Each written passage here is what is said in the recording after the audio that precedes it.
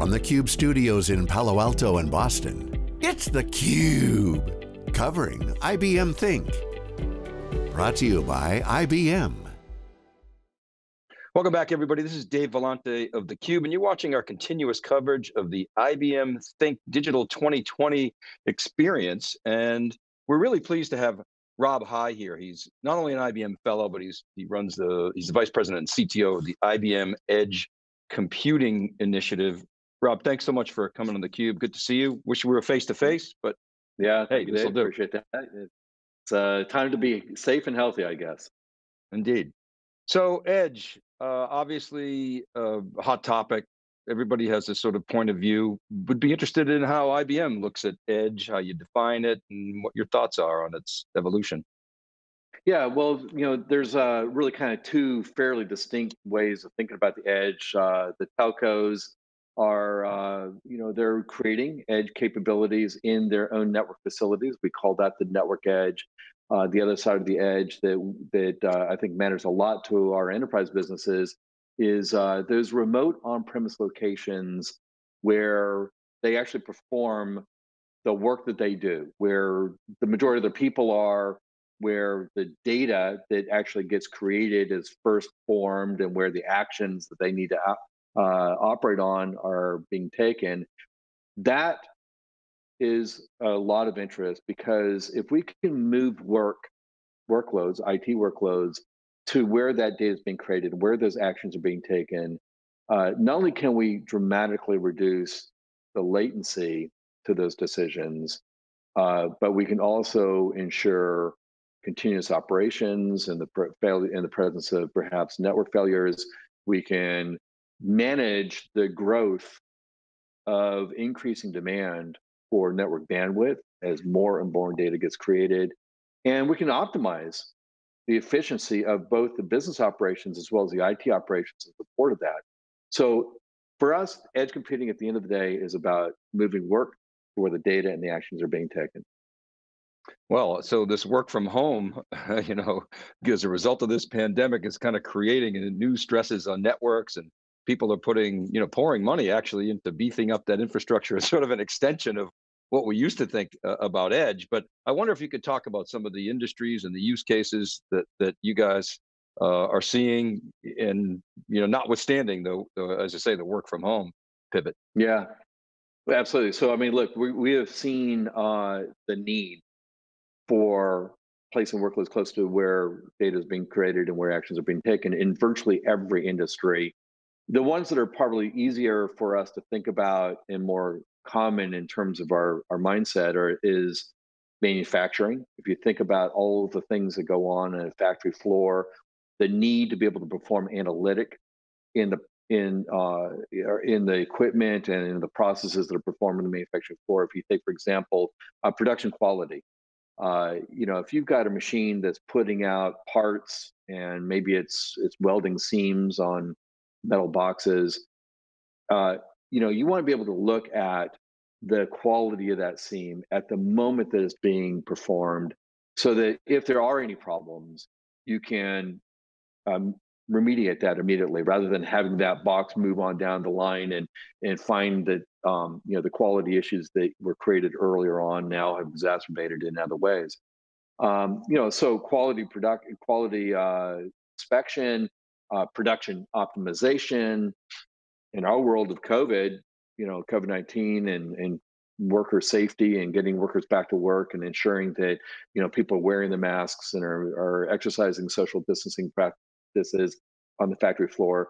You know, worker insight is another major use case that we're seeing surface suddenly uh, with a lot of interest in using uh, whether that's infrared cameras or, or Bluetooth beacons or uh, infrared cameras, you know, any variety of devices that can be employed in the work area to help ensure that factories are operating efficiently, that uh, workers are safe, uh, and whether that's in a factory situation or even in an office situation or, a, or in a uh, warehouse or distribution center, in all these scenarios, uh, the, the utility that edge computing can bring to those use cases is tremendous. And a lot of these devices are, are unattended or you know infrequently attended. I always use the windmill example. um, you know, you don't want to have to do a truck roll to figure out, you know, what the dynamics are going on at, at, at the windmill uh, so I can instrument it. But what about the management of those devices, you know, fr- from an autonomous standpoint? And, and are you, what are you doing or are you doing anything in the autonomous management space?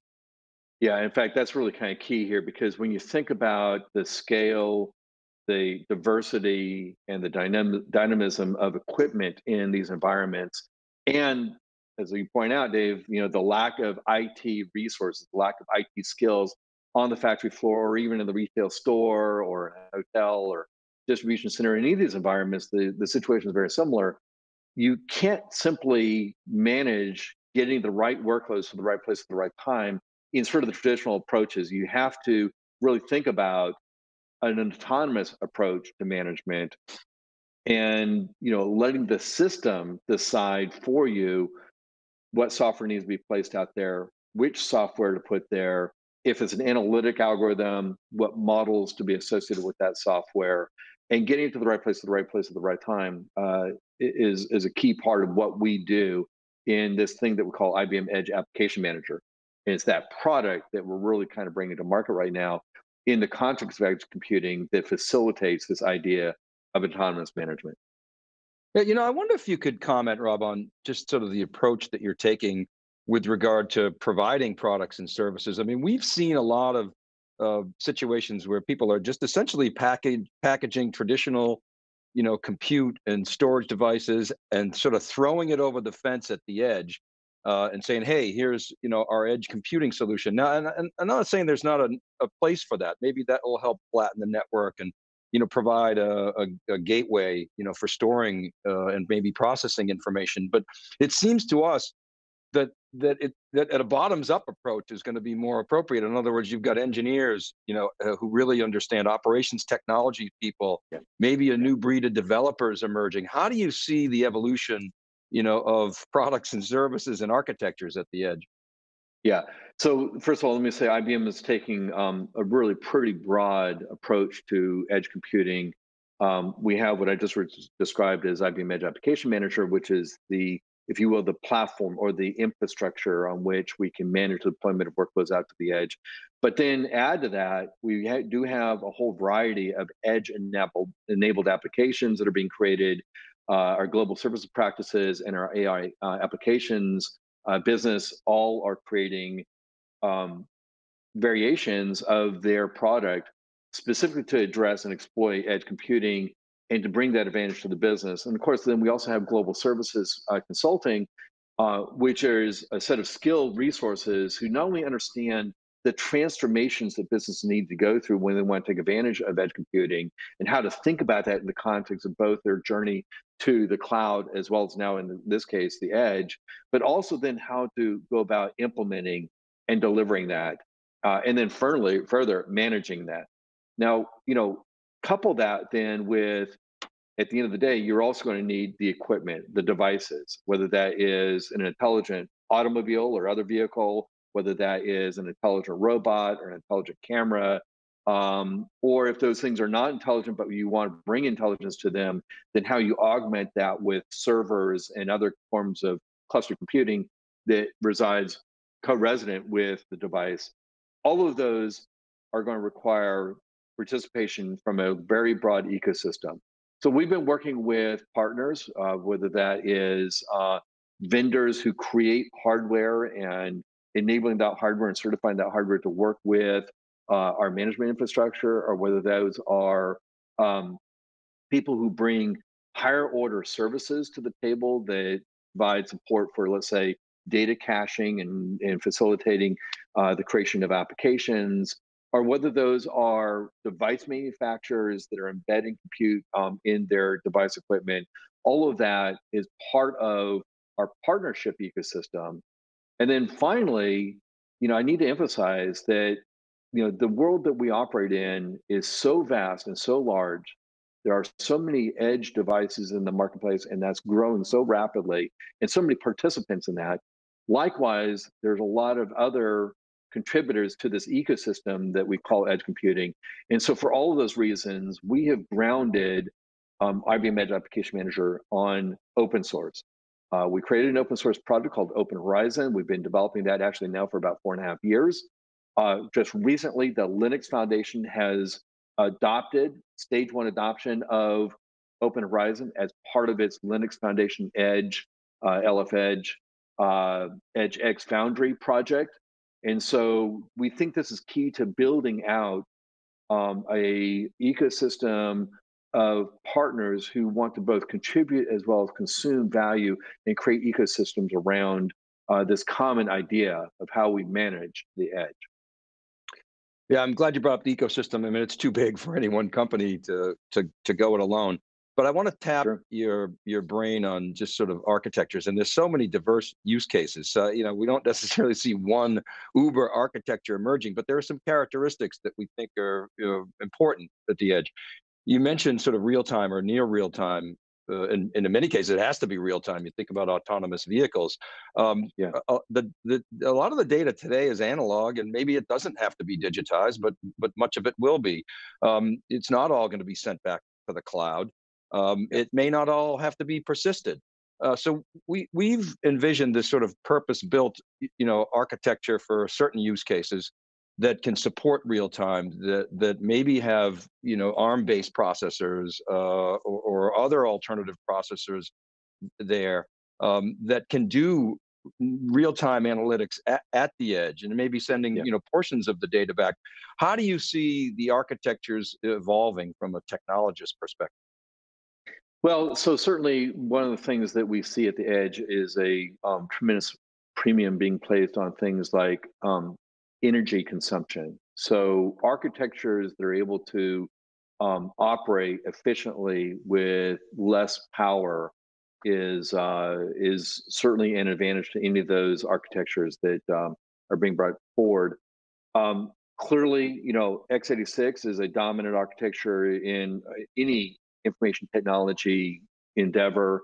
Uh, more specifically at the edge, we're seeing the emergence of a lot of um, ARM-based architecture chips out there. In fact, uh, I would guess that uh, the majority of the edge devices today are now being created with um, ARM architectures. But mm-hmm. um, at the you know, but some of this is about the underlying architecture of the compute but also then the augmentation of that compute, the the the compute, uh, the the uh, the CPUs with uh, other uh, types of processing units, whether those are GPUs. Of course, we're seeing you know a number of GPUs being created that are designed to be low power consuming um, and have a tremendous amount of uh, utility at the edge.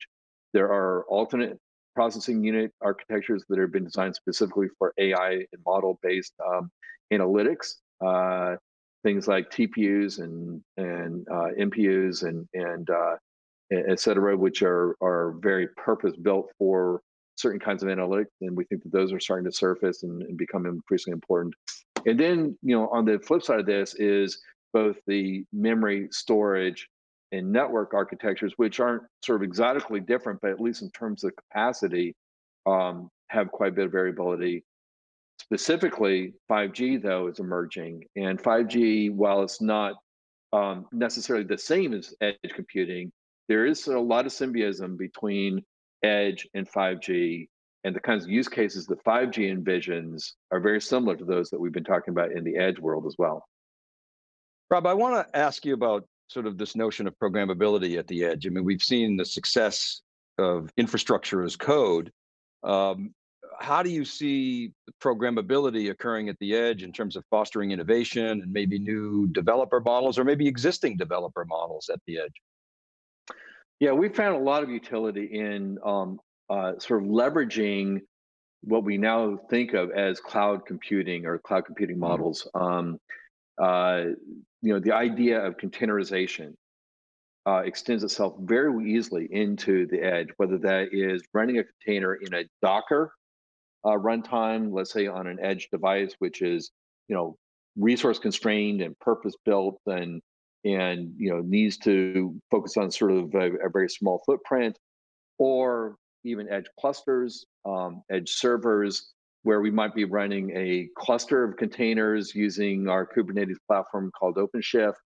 Um, you know, in the course of practices of continuous integration, continuous delivery, what we might otherwise think of as DevOps, uh, and of course the benefits that containerization brings to the idea of component architectures, uh, the idea of loose coupling, the separation of concerns, the ability to mix and match different service implementations to be able to compose your application are all ideas that were matured in the cloud world, but have a lot of utility in the edge world.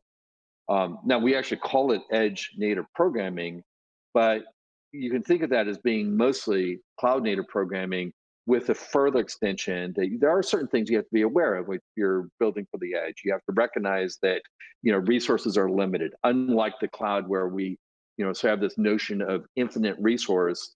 You don't have that at the edge. You have very mm-hmm. confined and constrained resources. You also have to be worried about you know latencies and the fact that there is a network that separates the different services and that network can be unreliable. It can introduce its own forms of latencies. Uh, it may be bandwidth constrained. And those are issues that you now have to factor into your thinking as you build out the logic of your application components. But I think by building on the cloud native programming development paradigm, you know, we get to exercise sort of all the skills that have been developing and maturing in the cloud world now for the edge. Yeah, makes sense. Uh, uh, uh, my last question is around security. I mean, I've often sort of tongue in cheek said, you know, building a moat around the castle doesn't work anymore. The queen, i.e. the data has left the castle. She's everywhere. So what about the security model? I mean, I feel like the edge is moving so fast. Do you, do you feel confident or what gives you confidence that we can secure the edge? Yeah, the edge is, uh, does introduce some very interesting and challenging uh, concerns with respect to security because frankly, the compute is out there in the wild you know you've got computers in the store. You've got you know people walking around the kiosks. You have in the manufacturing site you know workers that are you know in the midst of all of this compute capability and so the attack surfaces are substantially bigger. And that's been a big focus for us is how to ensure not only um, validate the integrity of the software that was created but also um, takes advantage of one of the key characteristics that edge computing can bring to the table, which is if you think about it, you know, when you've got personal and private information being entered into quote the system, uh, the more often you move that personal and private data around, and certainly the more that you move it to a central location and aggregate that with other data, the more of a target it becomes, the more vulnerable and exposed that data becomes. And by using edge computing, which moves the workload out to the edge where that data is being created, in some sense, you can process on it there and never have to move it back to any central location. You don't have to aggregate it.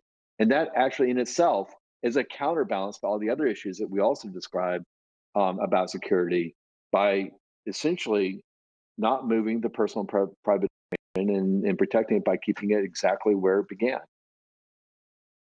You know, Rob, this is an exciting topic. It's a huge opportunity for for IBM. I mean, Ginni and, and Arvind talk about the you know the, the trillion dollar opportunity and in hybrid cloud. Uh, the edge is a multi trillion dollar uh, opportunity for for IBM, and uh, so you just got to go get her done. Uh, but I really appreciate you coming on the the cube and sharing your insights. Awesome topic, and uh, best of I luck to you. appreciate it, Dave. Yeah, thank you. All right. Thank you for the opportunity to and, talk about and, this stuff. And, and stay safe. And thank you for watching, everybody. This is Dave Vellante for theCUBE. This is our coverage of IBM Think 2020, the digital Think. We'll be right back right after this short break.